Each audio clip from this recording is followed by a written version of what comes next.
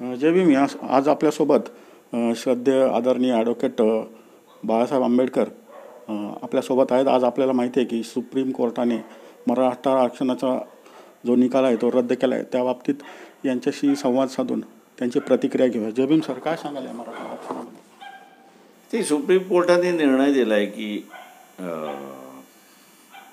पन्नास टक्क्याच्या वरती आरक्षण जात आहे आणि दुसरं असं आहे की मराठा समाज गरीब आहे असं काही धरता येत नाही. म्हणून त्यांनी तो निर्णय हायकोर्टाचा निर्णय रद्द करून आरक्षण देता येणार नाही असं त्यांनी म्हटलेलं आहे. तुम्ही या गरीब मराठा समाजाला काय आवाहन कराल? या कारण आम्ही त्यांच्या. मनामध्ये खूप असंतोष आहे आक्रोश आहे. तर त्याबद्दल काय सांगाल?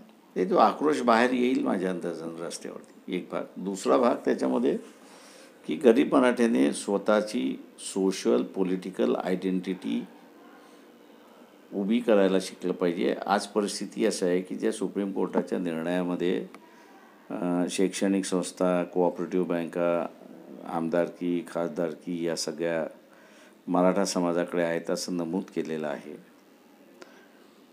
तेव्हा हा श्रीमंत मराठा वर्ग आहे.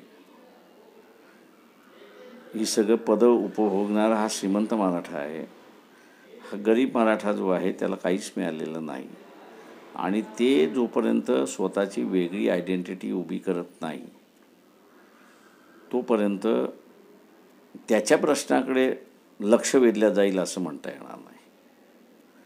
त्याच्यामुळे त्यांनी सामाजिक राजकीय दृष्टिकोनातून श्रीमंत मराठ्यापेक्षा वेगळे आहोत ही दाखवण्याची प्रक्रिया त्यांनी सुरुवात केली पाहिजे. सर आज आपण बघताय की करोनाचा कालावधी. गेले वर्ष वर्षापेक्षा जास्त क या कालावधी करोनाचा आपल्याला दिसून येत आहे संचारबंदी आहे. अशा कालावधीमध्ये हा जो निर्णय दिलेला आहे या कालावधीमध्ये हा निर्णय देणं योग्य हो? घटना घडत असतात चालत असतात आयुष्य चालत राहतं. त्याच्यामुळे निर्णय देणं बा क्रमप्राप्त आहे. सुप्रीम कोर्टाने निर्णय दिला. आपण बघतो की सामान्य ज- जनतेच्या मनामध्ये असा प्रश्न येतो की न्यायपालिका ही न्याय न देता फक्त निर्णय देत असते. न्याय ते न्या- न्यायपालिका निर्णय देण्यासाठीच आहे. पण त्यांच्याकडून न्यायाची अपेक्षा असते सामान्य माणसाला. तसा न्याय मिळत नाही त्यांना शेवटी शेवटी असं आहे सामान्य माणसाच्या समोर काय असेल वेगळा आहे. पण त्यांना कायद्याला धरून न्याय द्यावा लागतो. त्या कायद्याला धरून त्यांनी न्याय दिला. सर समिती परत अ, स्थापन करून परत अप्लाय आपण करू हा प्रश्न आता इथे संपलेला आहे. सुप्रीम कोर्ट हे सर्वोच्च कोर्ट आहे. याच्यापुढे फार अपील अपिलाची प्रोव्हिजन नाही कुठेही. त्याच्यामुळे हा निर्णय सगळ्यांना मान्य करावा लागेल आता. आणि पुन्हा गरीब मराठ्याच्या आरक्षणाचा प्रश्न उपस्थित करावा लागेल तर मी जसं म्हणालो की त्यांना सामाजिक राजकीय दृष्टिकोनातून आपलं वेगळेपण पहिल्यांदा दाखवावं लागेल इस्टॅब्लिश करावं लागेल. मग त्यांच्या प्रश्नाकडे लोक बघायला सुरुवात करतील. ज्युडिशरीसुद्धा बघायला सुरुवात करेल. आज असणारा गरीब मराठा हा श्रीमंत मराठ्याच्या पोटात आहे. त्याच्यामुळे पोटातलं दिसत नाही. तर अंग दिसतं. तर ते अंग श्रीमंताचं अंग आहे.